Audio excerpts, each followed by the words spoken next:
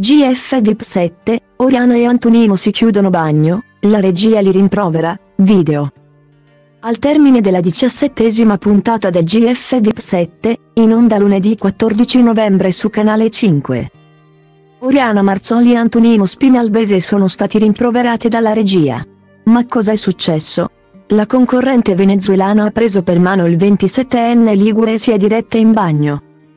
A quel punto la regia è intervenuta, così come Luca Salatino che si trovava già in bagno. In puntata, Alfonso Signorini ha parlato del presunto triangolo amoroso fra Antonino Spinalbese, Oriana Marzoli e Daniele Dalmoro.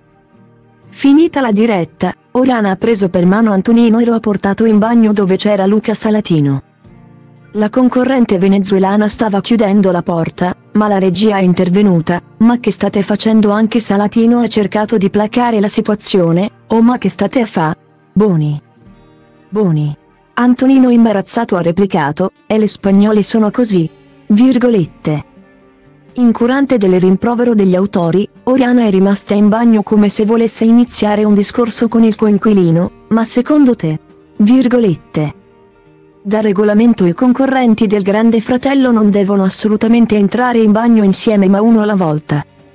Per questo motivo la regia è intervenuta immediatamente. La scena di Oriana Marzoli che ha trascinato Antonino Spinalbese in bagno, non è passata inosservata ai telespettatori di Mediaset Extra. Su Twitter, un utente ha ironizzato sulle presunte intenzioni dei due concorrenti. Un altro utente ha criticato Spinalbese, Antonino sembra un gigolò. Un altro telespettatore ha ammesso di essere deluso dall'atteggiamento del 27enne Ligure.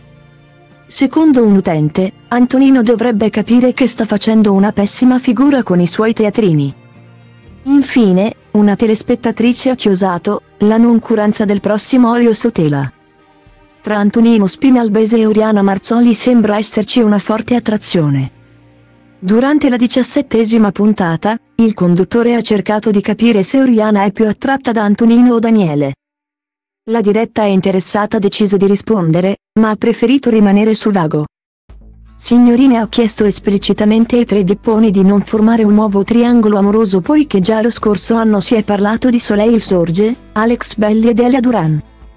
Nei giorni scorsi, Spinalbese ha dato un bacio a stampo ad Oriana per augurarle la buonanotte.